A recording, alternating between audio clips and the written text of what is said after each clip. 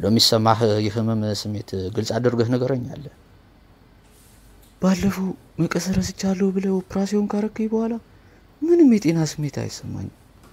ሆዴም በጣም ይወጋኛል፣ አልፎ አልፎ ደግሞ ያስቀምጠኛል። ዛሬ ግን በዋናነት የመጣሁት ባለፈው በጥይት የተመታሁት እግሬ እየጠዘጠዘኝ ነው። ለሆዴ ይወጋኛል ለምትለው ምናልባት ሌላ የተረሳ መቀስ ሊኖር ስለሚችል ድጋሚ ቀደድ እናና check እናደርጋለን። እንዴ በአንድ ወር ውስጥ ለሶስተኛ ጊዜ ልቀደኝ? ለምን አንደኛውን በዚፕ አታደርገው? ዋይ ለሕክምና ለእኔ አትነግረኝም። ለዚህ ያስቀምጠኛል ለምትለው ደግሞ ለምትጠጣው ሊጥህ ቅንስ ያለ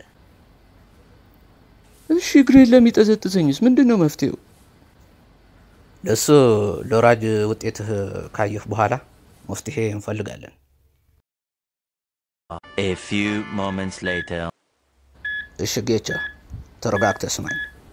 ለአንድ ጥሩ ዜና እና ለአንድ መጥፎ ዜና ይዤልህ መጥቻለሁ። ለመጀመርታ ለየትኛው ልንገርህ ያለ መጥፎ የምትለውን ዜና ንገረኝ። ይጠዘጥዘኛል ላልክ እግርህ መቆረጥ ስለነበረበት ተቆርጧል። ግን የቆረጥኩት እግርህ የተሳሳተውን ነው።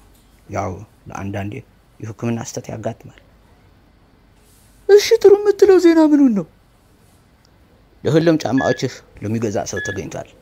እንደዚህ የምትጫወትብኝ በሚስት ስለጠረጠርከኝ ነው አይደል? ፈጣሪ ግን አንድ ቀን ይፈርዳል።